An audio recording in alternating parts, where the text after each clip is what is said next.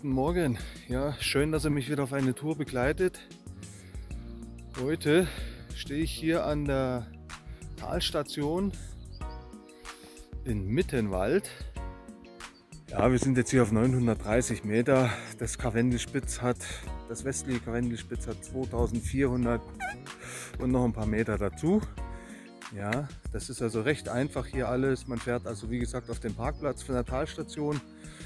Hier bei der Ausschilderung ist eine Unterführung, da geht es unter der Bundesstraße B2 durch und dann befindet man sich eigentlich in Mittenwalder Hütte. Von da aus über den Mittenwalder Steig zur Karwendel Bergstation. Dann kommt man in den Karwendel Kessel. Das ist was sehr Schönes. Ich war vor 17 Jahren schon mal hier oben, allerdings mit der Bahn hochgefahren. Äh, hat lange gedauert, jetzt für meine Erstbegehung. Und von diesem Karwendel Kessel aus, wie gesagt, kann man dann äh, auf verschiedene Gipfel verschiedene Touren nehmen. Ich möchte das äh, westliche Karwendelspitz nehmen. Abstieg dann eventuell über Stamkar. Schauen wir mal. Wie ich schon da oben gesehen habe, haben wir noch äh, etwas an Schnee drin.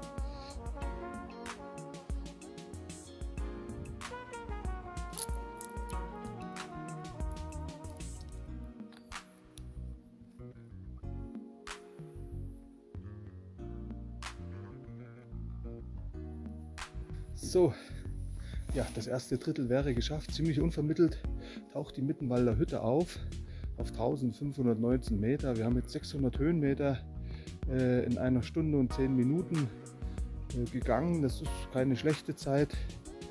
Ähm, bis hierher ist der Weg ähm, technisch anspruchslos, konditionell ja mittelmäßig, äh, landschaftlich äh, recht schön die Mittenwalder Hütte anscheinend sehr viel neu gemacht hier. Das ganze Aussichtspodest.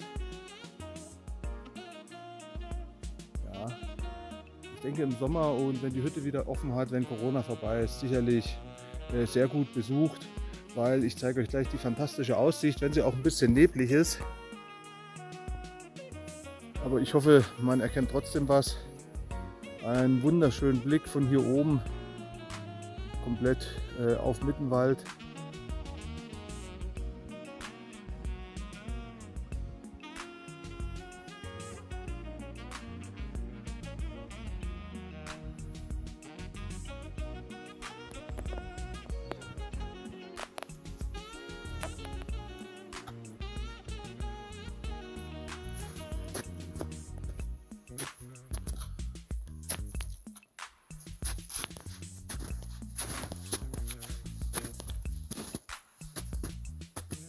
So meine Lieben, jetzt bin ich noch nicht weit gegangen von der Mittenwalder Hütte, aber es wird auch langsam sehr äh, steil und sch Schnee und felsig. Ich habe mich jetzt schon mal in mein Equipment geschmissen, Helm aufgesetzt, weil wie gesagt langsam kommt Felssturz mit dazu. Äh, mein Petzelpickel natürlich mit dabei. Ich habe schon mal einen Gurt angelegt. Jetzt habe ich gerade einen Lawinenabgang gehört.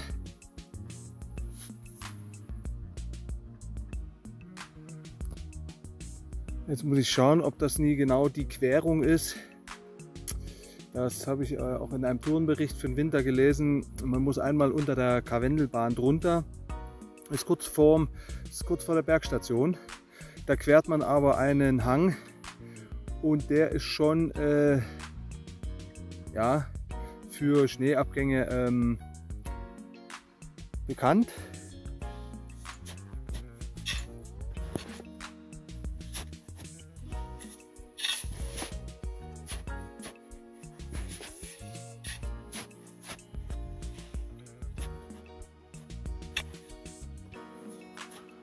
So, das sind die Bedingungen hier.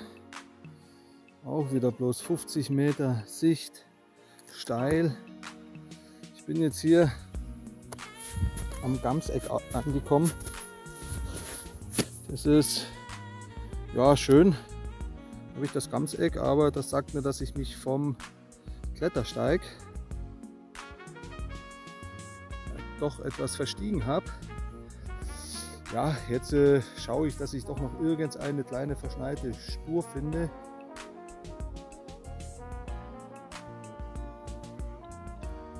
Ja, jetzt sitze ich mal hier an einen Baum gelehnt und mache Brotzeit. Ja, okay, was zu knabbern, ein Riegel. Den Rucksack habe ich hier am Pickel angebunden, weil es halt doch etwas steil ist. Ähm, hier mit dem Schneegetöse und Nebel.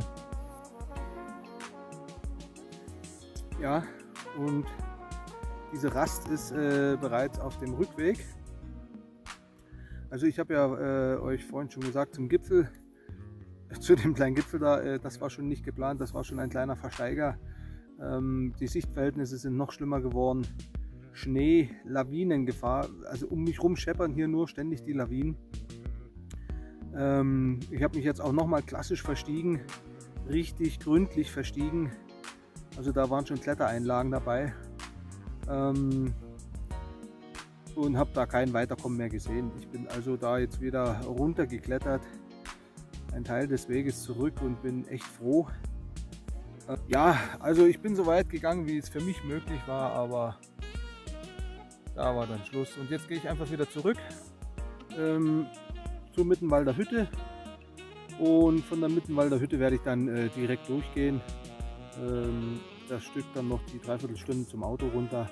Na gut, also ihr wisst es, Gesundheit geht vor.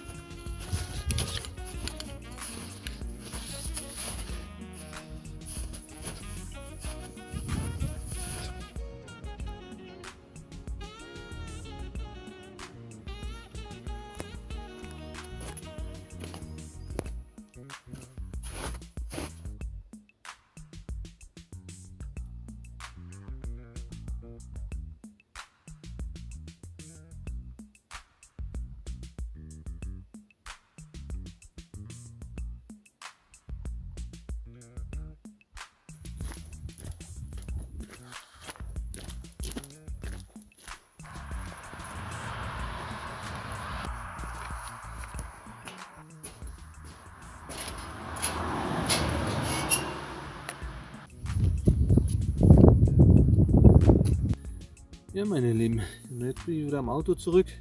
Ich habe mich schon mal umgezogen, weil wie ihr seht, meine Schuhe sind ziemlich nass. Ich habe schon mal ja, eine trockene Hose und ein paar frische Socken angezogen.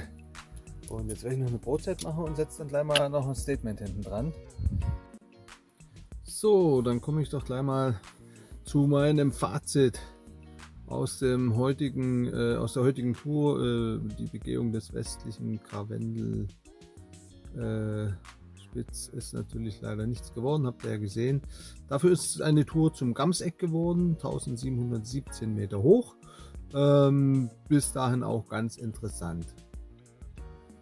Die Tour an und für sich ähm, ist äh, als mittel bis schwer deklariert, im Sommer natürlich wiederum.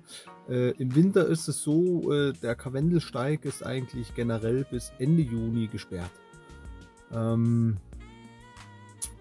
ich denke in erster Linie aus versicherungstechnischen Gründen, ähm, aber ganz, auch nicht ganz ungerechtfertigt, so wie ich das ja heute selber erfahren durfte. Ähm, ich bin zum Anfang äh, einer etwas, ja, dürftig sichtbaren äh, ausgetretenen Schneespur gefolgt. Äh, die führte mich das erste Mal schon vom Karwendelstein weg auf das Gamseck. Das ist jetzt überhaupt gar nicht unüblich, weil man vom Gamseck wieder äh, aufs Karwendelstein zurückkommen kann. Das Gamseck liegt relativ äh, am, äh, am Fuße oder der Karwendelsteig geht am Fuße des Gamsecks entlang. Somit ist das jetzt kein äh, dramatischer Umweg gewesen. Ähm, wobei bei den Verhältnissen, ich denke, ihr seht das bisschen auf den Videos oder dann auch auf Fotos, ähm, 50 Meter Sichtweite, steile Schneefelder, schwerer, nasser, äh, richtig sulziger Schnee. Also das war wirklich grenzwertig. Ähm, ich habe dann vom Gamseck den äh, Karwendelsteig wieder gefunden. Bin auch wieder ein Stück weiter gegangen. Äh, durchweg aber schon mit einem flaum, flaumigen Gefühl. So. Also, also mh, mm, das hat heute alles irgendwie nicht gepasst.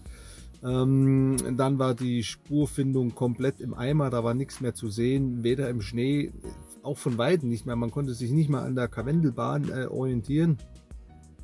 Ich habe dann also äh, den Karwendelsteig zu früh äh, nach rechts verlassen und bin dann circa zwei Stunden Freestyle äh, durch Schneefelder, äh, Felsen gekraxelt und geklettert, ähm, bis mir das Risiko einfach so hoch wurde. Äh, also ja, also ich habe dann schon langsam angefangen Schiss zu kriegen, ob ich da jemals wieder äh, Land finde, ähm, dass ich dann einfach äh, das komplett rückwärts wieder zurückgekraxelt bin ähm, und drei Kreuze gemacht habe, als ich dann an meinem Rastbaum äh, das erste Mal wieder zur Ruhe kam. Äh, vielleicht war es aber auch ein bisschen Schicksal. Ähm, auch das habe ich versucht in den Videos mal ein bisschen aufzunehmen. Wäre ich den Karwendelsteig, den offiziellen Weg weitergegangen, hätte ich noch zwei äh, recht steile, äh, äh, im Sommer sind das so, so Geröllhänge, im Winter natürlich alles voll Schnee. Und äh, das schepperte im Rhythmus von fünf Minuten, ging da ein Schneebrett, eine Lawine nach der anderen runter. Ähm, vielleicht war es also Schicksal, dass ich äh, den Karwendelsteig heute nicht gefunden habe. Und ähm, wie gesagt, ich habe alles gegeben also für meine Verhältnisse alles probiert, um irgendwie zur Bergstation hochzukommen, zumindest erstmal den Karwendelkessel äh, zu erreichen. Äh, schier unmöglich. Ähm, und vielleicht, wie gesagt, Gott sei Dank, wäre ich den rechten Weg gegangen, hätte mich vielleicht heute eine Lawine ähm, ins Tal gerissen. Und das wäre sicherlich äh, nicht so lustig gewesen. Ansonsten, ähm, wie gesagt, der Karwendelsteig ähm, im Sommer sicherlich mal zu empfehlen. Bis zur Mittenwalder Hütte wirklich technisch anspruchslos, eine leichte, nette Wanderung. Die ist mit zweieinhalb Stunden angegeben. Wie gesagt, ich habe eine Stunde und zehn Minuten gebraucht. Das, wie gesagt, das waren 600 Höhenmeter. Das ist für meine Verhältnisse äh, in einer reichlichen Stunde 600 Höhenmeter. Das ist schon gut. Das äh, müsst ihr so nicht schaffen. Also zwei, zweieinhalb Stunden sind auch völlig in Ordnung bis zur Mittenwalder Hütte. Ähm, Macht es das gemütlich, stresst euch nicht. Ähm, von der Mittenwalder Hütte das erste Stück äh, bis zum Gamseck hoch. Ähm, auch angenehm. Ähm, hier und da mal ein Drahtseil äh, oder ein Eisen eingeschlagen. Ja, leicht versichert. Äh, wie gesagt, mehr äh, zum Karwendelsteig kann ich euch leider nicht sagen. Im Winter also ich probiere das sicherlich nochmal. Also äh, man muss halt bloß den Weg sehen. Äh, aber auch wenn ihr den Weg finden solltet im Winter, ist die Karwendelsteigbegehung schwierig. Äh, in allen Belangen, technisch, konditionell. Äh, bereitet euch wirklich akribisch darauf vor, topografisch, ausrüstungstechnisch. Das ist wirklich äh, hochalpin und äh, gefährlich. Also das ist wirklich eine Herausforderung ähm, und recht gefährlich aufgrund der, der, Schneeverhältnisse und auch des Steinschlages nicht zu äh, vergessen. Man läuft äh, permanent unter zweieinhalbtausend Meter äh, hohen Hängen. Das ist alles als schroffiges Gelände bezeichnet. Das kommt daher, weil von oben der ganze Schotter schon natürlich runtergescheppert ist. Also ähm, auch das habe ich heute alles erlebt. Neben den Lawinen natürlich auch äh, immer ein bisschen leichter Steinschlag.